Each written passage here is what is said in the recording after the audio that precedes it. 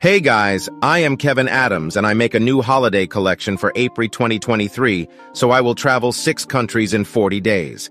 I will flight from Luxembourg, my country, to Dar es Salaam, capital city of Tanzania, later on to Arusha. And from Arusha, we'll ride by shuttle bus to Nairobi, capital city of Kenya, amazing country of Africa. And after few days, I ride by train to Mombasa. And from Mombasa, I catch flight to Kampala, capital city of Uganda, and later on we'll visit Fort Portal, beautiful province Og, Uganda, the city of natural honey.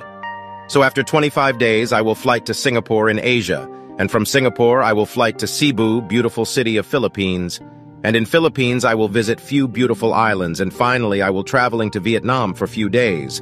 And my return flight to Luxembourg will be from Ho Chi Minh City in 21 of May, so this is my longest travel until now, and normally will cost 6,000 euro I hope will enjoy a lot because this is my last holiday in 2023.